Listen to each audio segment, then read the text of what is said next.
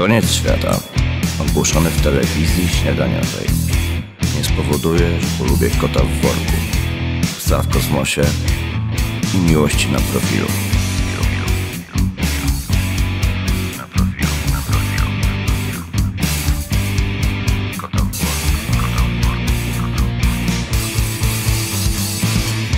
Gospodarze nie kojarzę do typu dłoni.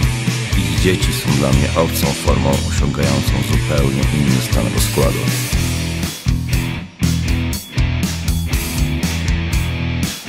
Wszystkich zablokuję i zastąpię bólem zęba, kiepskim wierszem albo śmiercią w Tesco. Nie mam podzielności, a oni mojej uwagi. Dzień po końcu świata udostępnię zdjęcie.